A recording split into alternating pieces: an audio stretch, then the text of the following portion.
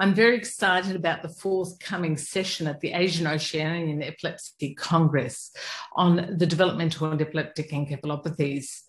As most people know, the developmental and epileptic encephalopathies are the most severe epilepsies with many comorbidities and high mortality in 2021, we can actually solve 50% of the patients that we see, adults and children, by finding the genetic cause. But the more we know, the more complicated it gets, in fact. There are now more than 300 genes implicated in the developmental and epileptic encephalopathies.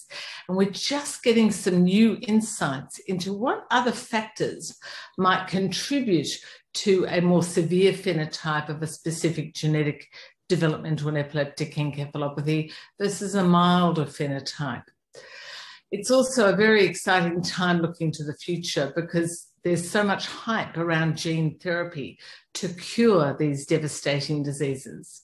Now, in epilepsy, we're not quite there yet, but the results in animal trials are really exciting. And there are a number of companies just embarking on human trials. So, this is a space in which uh, the future will be transformed in the next five years.